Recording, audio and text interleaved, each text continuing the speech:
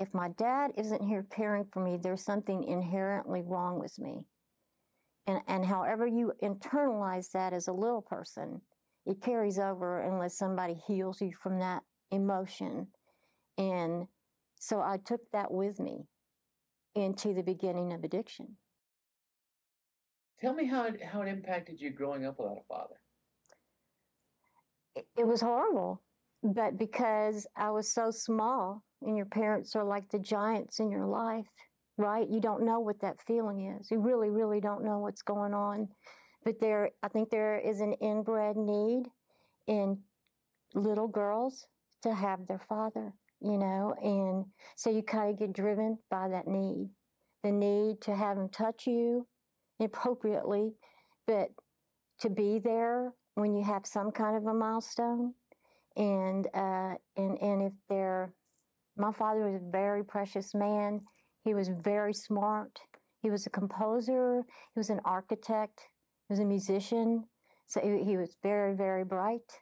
And he had whatever his brokenness was that he brought with him um, that translated to me and my brothers too eventually. But um, his idea was, I guess, what we talked about. A lot of men's ideas they need to make a lot of money to make their family happy, when in reality, we need them. And the money is secondary. And most people don't understand that because we're all about what car we drive, what house we live in, what clothes we wear, and care.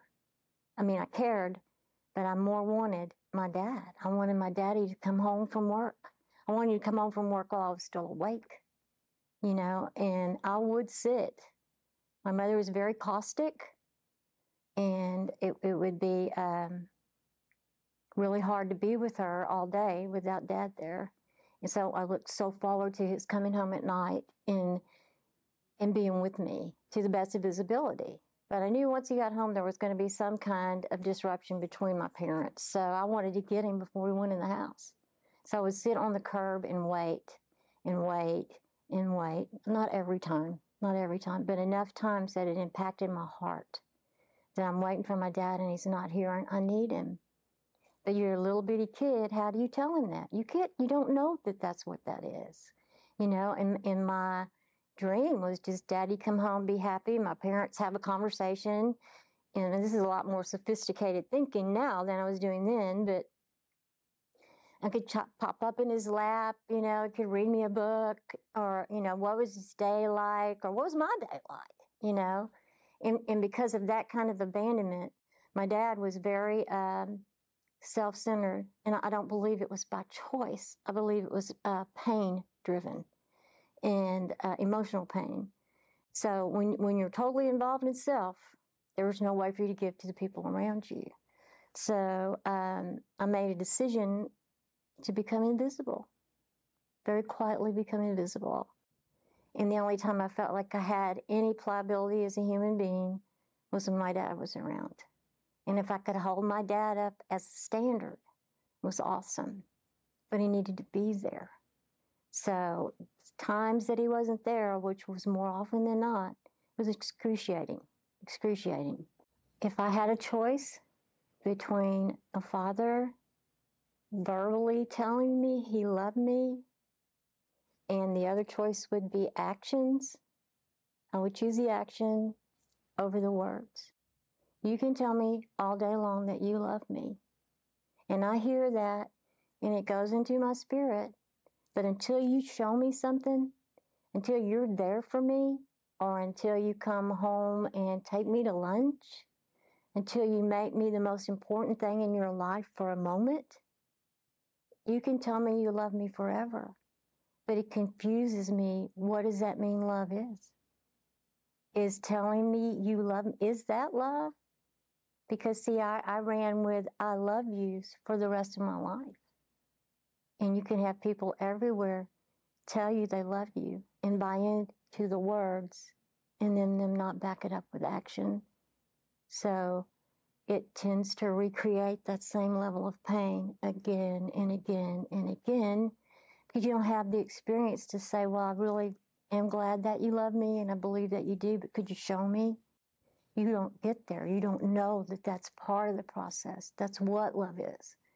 Love is being there, even if it's for a certain amount of time on a daily basis, if it's just for a weekend, if it's something that makes your daughter feel like she fits in the family system. You know, it seems like men gravitate toward their sons naturally because it's male to male. And I think fathers are very awkward with their daughters sometimes. I think they see us as so fragile sometimes and they don't know quite what to do with us, you know, and, and it it requires a little bit more of a stretch to be there with your daughter. You know, I know that it does be, and the only experience I have with that is being there for my grandson because that's the only boy in my life. And it's much easier for me to know exactly what to do with Zoe. But when it comes to Caleb, I'm like, what do I say now? You know, what does he need me to do? And I think it's just so important if a father would ask his daughter, What do you need from me? What can I do for you? You need me to be at your play this weekend? You know what? It's on the books, and I don't care what happens. I will be there no matter what. Yeah, I'll leave my cell phone in the car, you betcha. There won't be any texting. You are the apple of my eye. And have that father sitting there on whatever row he is with the big grin going, That's my little girl. You know, that's my baby girl, and I'm so proud of her. It doesn't take a lot. It really doesn't take a lot. It just takes a minute, you know, and it's just so important. What are the good things you learned from your dad? I got his sense of humor, which he was absolutely hysterically funny. He was very sensitive, and I, appreciated that in him. And, and, and I just want to say this I think a lot of men don't think they can show sensitivity. And that was one of my favorite qualities about my dad. I was so grateful that he would feel feelings. And um, he, his musical ability, the things that I grew up with, um, I was so proud of his art.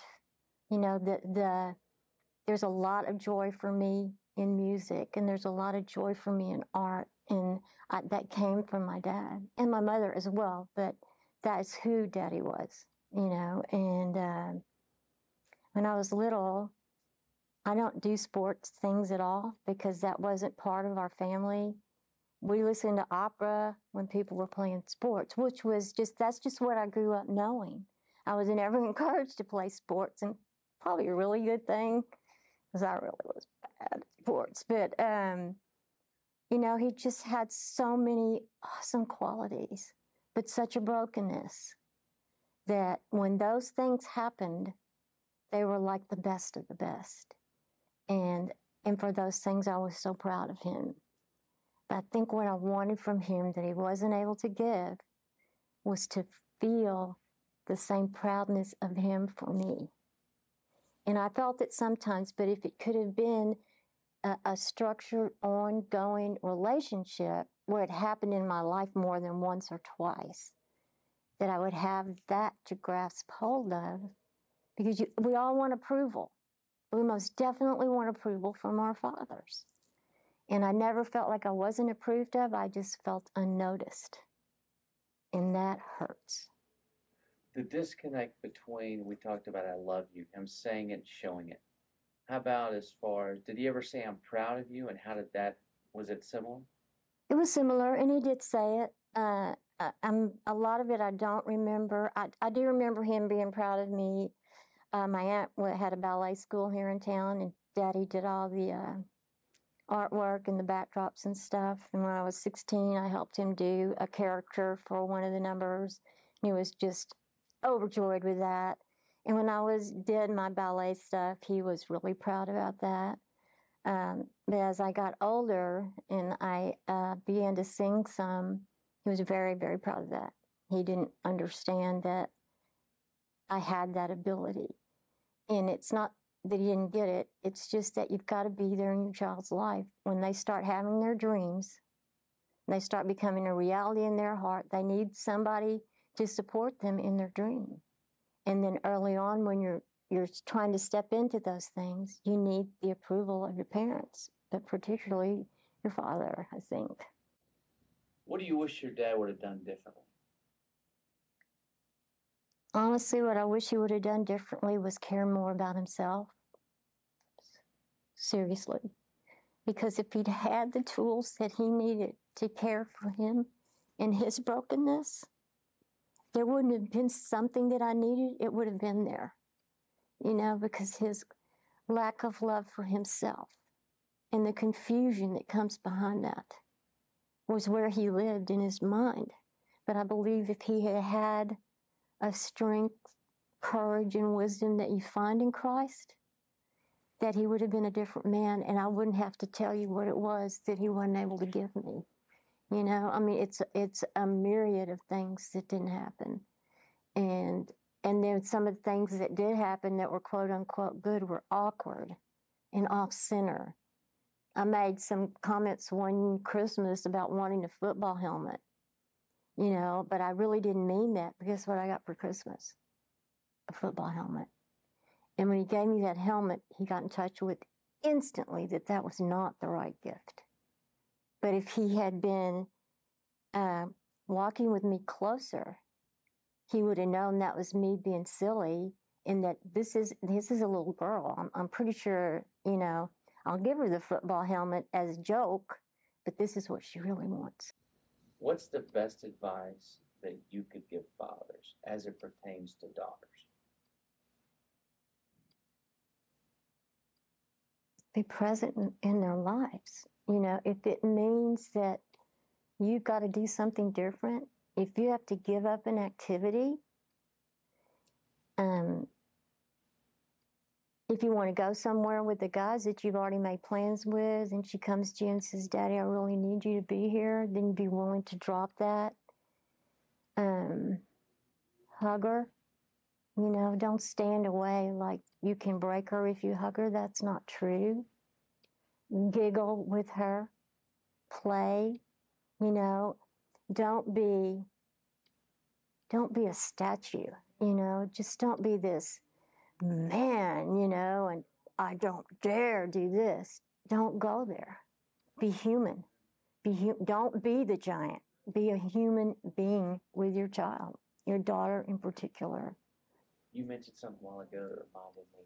Dr. Meeker, this best-selling author that we were able to interview, she said the disconnect for men so many times is, and you mentioned it earlier, this idea that because we don't know what it's like to be a little girl, there's this fear. And so instead of saying, How can I help? What do I need to do? It's like, Right. ah, you guys, you know, that's mom. Mom will take care of that. I'm going to go do this. That's right. That's What exactly what happens. I always think that's just wrong. it's just not right. I mean, 'cause it's not true. I know it's common. Yeah. I see it every day across the board. I see that more often than anything else. And, and the best fathering and mothering I've seen with a, a family has been watching uh, Pastor Boyd and Pastor Jan take care of Jackie. It's like that's what it's supposed to be like. These guys are present in her life in every way. And, and it's not to say they're wishy washy, and it's not to say there's not discipline and structure, because there is. But there is a level of love, understanding, and um, approachability. Approachability that you just don't often see. Too many fathers do what you just said. That's mom's job. No, it's not mom's job. Well, it is mom's job to a degree, but mom is with us all the time. You know, mom's on major burnout when dad gets home. Like, take these kids, do something with them. You know, care where you go, go to McDonald's, whatever. You know, so heck, take her to McDonald's. You know, make, you know, the apple of your eye. A little girl wants to be the apple of her dad's eye. How do you think your life would have been different had you had a father that was engaged in your life? Wow, I have thought about this so many times, so many, many times. Um, my grandparents raised me. I lived at the ballet school from a little girl till I was about four because daddy was trying to establish himself as an architect and was my parents were really involved in this social setting that they really wanted to move up in. So that was an abandonment issue from the get go. But uh, watching both of them, but dad in particular, the things that they were able to do through their talents, it astounded me. And if I had it to do again, I would take my dream and run all the way with it instead of sabotaging every good thing that's happened in my life up until my relationship with Christ because I felt not worthy. I felt unlovable. I felt invisible. So if I would have been able to follow through on that, I'm not a perfect family. I certainly am not talking about perfection. I'm talking about feelings. And if I had had their support and their nurturing, the nurturing is so important, then I would have been able to have the freedom to follow through. I wouldn't have been a person that starts strong and finishes last. You know, uh, it would have been an entirely different picture, entirely different picture. And, and because of that, there's so many dreams I've let go of that I, I know I would have been good at. I really know that in my heart. And it's not an ego thing, it's just the dreams that I had, and, and I knew they were accessible, but I didn't have the tools to do it. But I could see it in them. It's almost really if you, and this is something that recently came up that I had not thought about until it came up. My girls, I hope, and I think I've instilled in them that I believe in them. Absolutely so that it gives them the confidence to go try and do whatever it is, whether it be dreams or whatever. Right. That eh, I mean, does that make sense? It makes sense, and you know what that tweaks in my brain is like a, a fear to step out there and make a mistake or fall because I didn't have a daddy to pick me back up and dust me off and say that's okay. It's okay. You know, you can try again or we'll do something else. That was the that's the disconnect. That's the disconnect. I wouldn't pick myself back up and be like, you know what? This is what you deserve. You got what you deserve because you didn't do it right. But if I had a dad to come up and say, we all fall short, um, put you back on your feet, tell you how proud I am of you, you did a great job, you know, so then you want to try the next thing.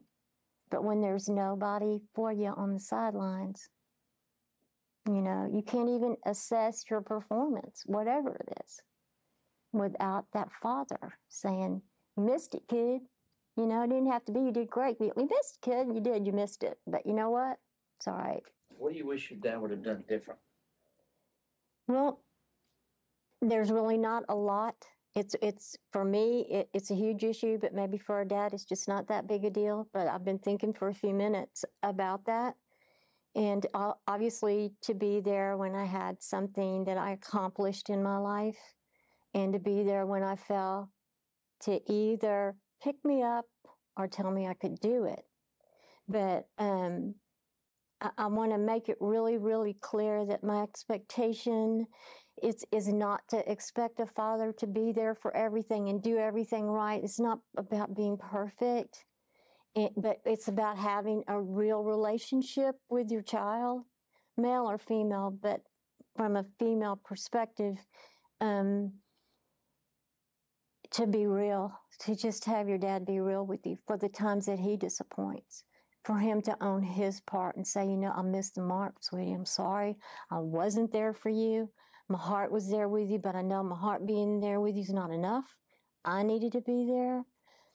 To learn how to model out for a girl what is she going to have in a husband later?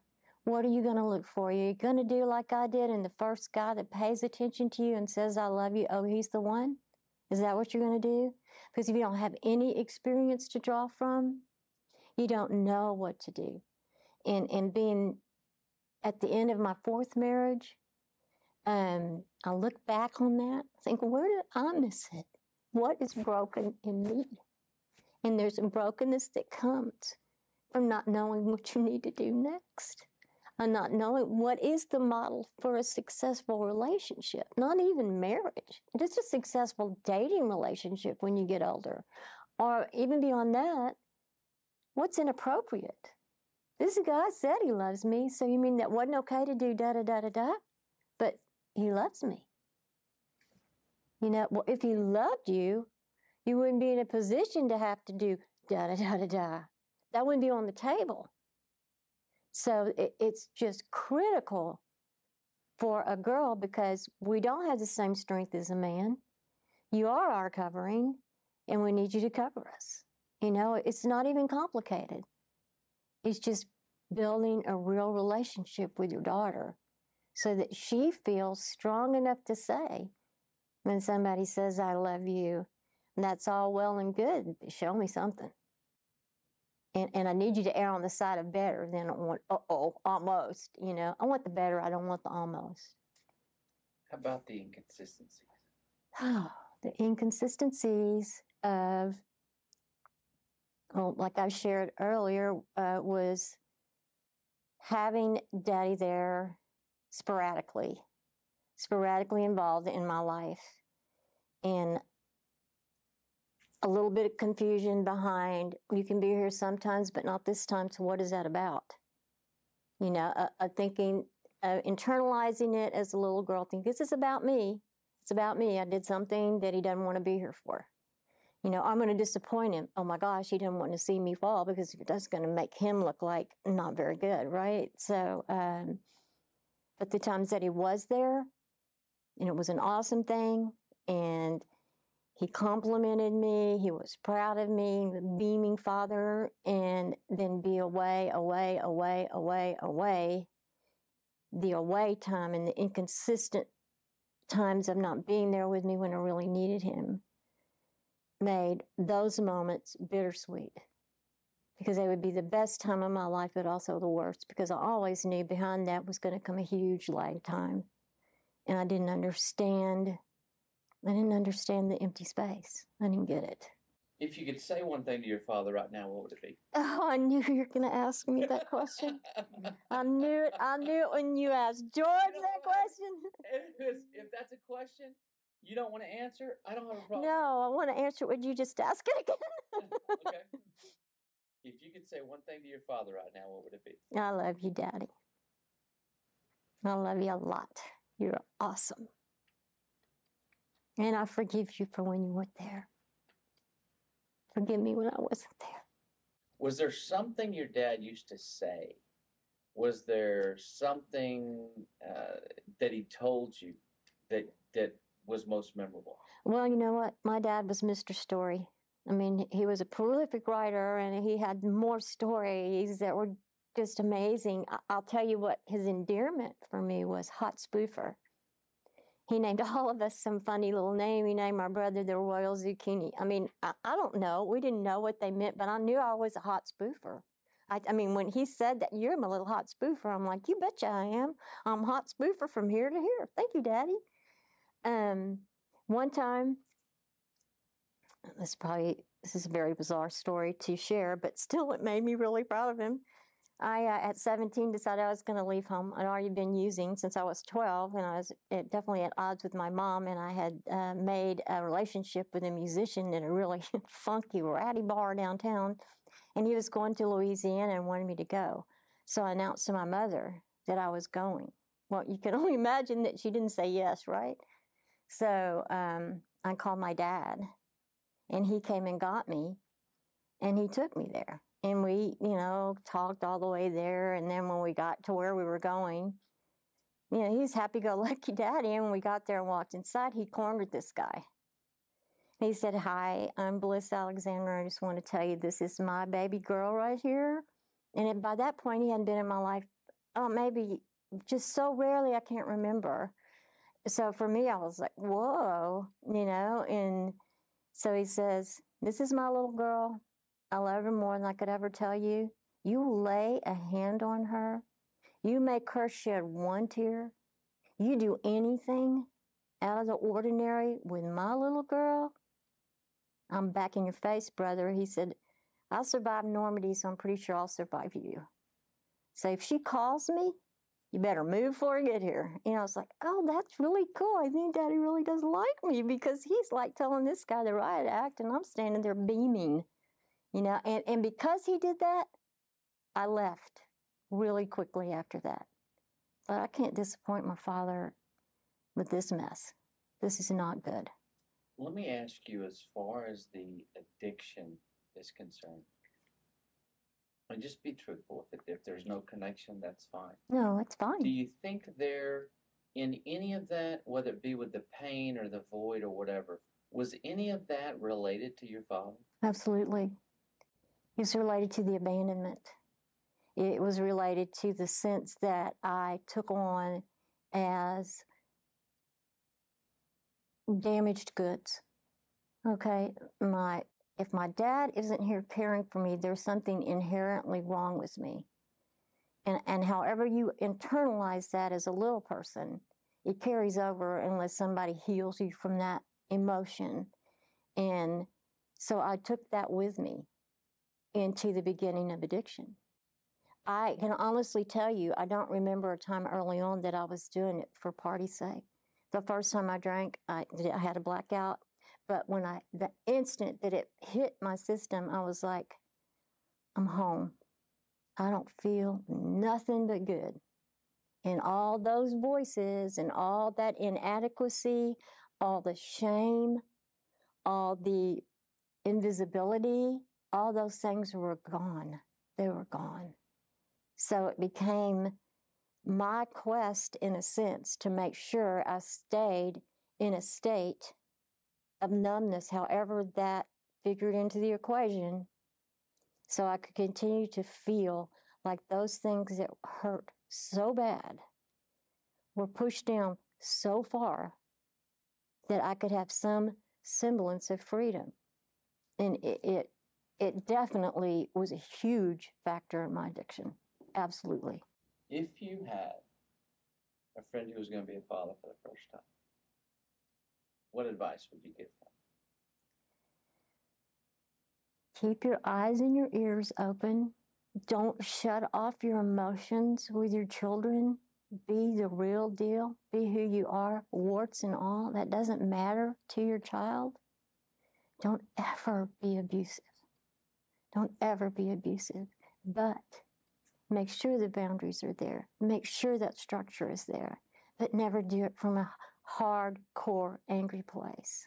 Reach out to your children. Love them. Make sure that physically, emotionally, and spiritually you're fine tuned so that you don't miss anything in your children's lives. You know, and when you do miss those things, you can step back and say, I missed it, but I'll do better next time. Be a human being to these kids. Don't be a human doing. They don't need a human doing. They need a human being. They need it bad.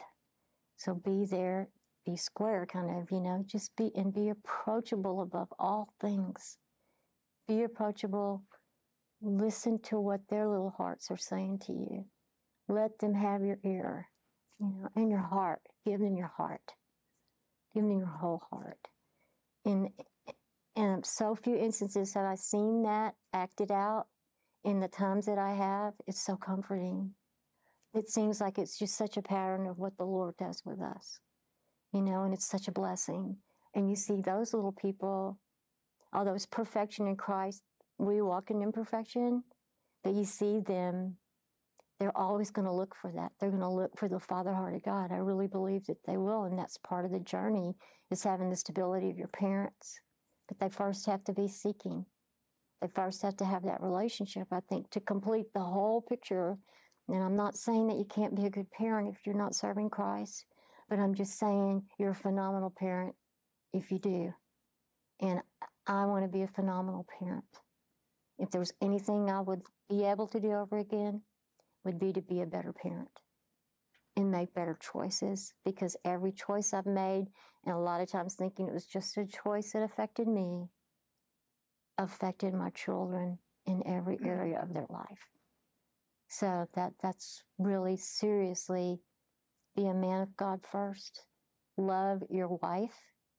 Show that you love your wife. Show that there after God there is nothing more important than your family. And do whatever however that lines out for you, whatever that dynamic is in your family, then do that. Find out what it is and follow it. And don't beat yourself up when you fall short. And don't ever quit. Don't ever quit. I don't care if your daughter's 70 years old and you're 90. If you never told her you love her, then do it right now. Right now. Don't wait. Love heals a multitude of sins. And that's really true. Really, really true. Watch the Father Effect movie for free on YouTube.